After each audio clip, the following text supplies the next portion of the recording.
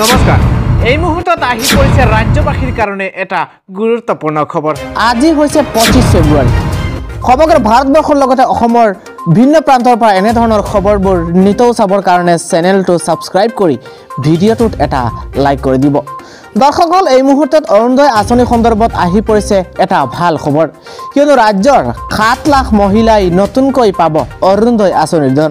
আৰু এই কথাটো মন্ত্ৰী পীযুষ হাজৰিকাৰ তৰফৰ পৰা খন্তেক সময়ৰ পূৰ্বে ঘোষণা কৰা হৈছে। শিৱসাগৰৰ পৌৰসভা নিৰ্বাচনৰ পূৰ্বে মন্ত্ৰী পীযুষ হাজৰিকাৰ নিৰ্বাচনী প্ৰচাৰ আৰু সেই নিৰ্বাচনী প্ৰচাৰত মন্ত্ৰী পীযুষ হাজৰিকাই সেই গুৰুত্বপূৰ্ণ মন্তব্যটো কৰিলে। প্ৰচাৰ সভাত পীযুষ হাজৰিকাই কৰিলে এই গুৰুত্বপূৰ্ণ মন্তব্য। আৰু কোৱা হৈছে ইতিমধ্যে ৰাজ্যৰ বাইছ লাখ মহিলাক দিয়া হৈছে নতুনকৈ অৰুণোদয় আঁচনিৰ ধন। ৰাজ্যৰ আৰু সাত লাখ মহিলাই পাব বুলি অৰুণোদয় আঁচনিৰ ধন সেই মন্তব্যটো মন্ত্ৰী পীযুষ হাজৰিকাৰ তৰফৰ পৰা খন্তেক সময়ৰ পূৰ্বে কোৱা হৈছে। আৰু কোৱা হৈছে শিৱসাগৰৰ পৌৰসভা নিৰ্বাচনৰ পূৰ্বে মন্ত্ৰী পীযুষ হাজৰিকাৰ নিৰ্বাচনী প্ৰচাৰ আছিল আৰু সেই নিৰ্বাচনী প্ৰচাৰত মন্ত্ৰী পীযুষ হাজৰিকাই সেই গুৰুত্বপূৰ্ণ মন্তব্যটো কৰিলে। প্ৰচাৰ সভাত মন্ত্ৰী পীযুষ হাজৰিকাৰ সেইটো গুৰুত্বপূৰ্ণ মন্তব্য।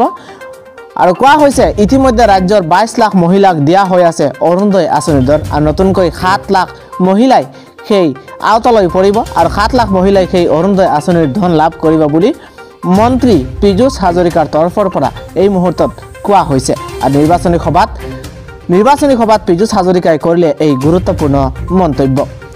দৰ্শকসকল এনেধৰণৰ খবৰবোৰ নিতৌ চাবৰ কাৰণে চেনেলটো ছাবস্ক্ৰাইব কৰি ভিডিঅ'টোত এটা লাইক কৰি দিব।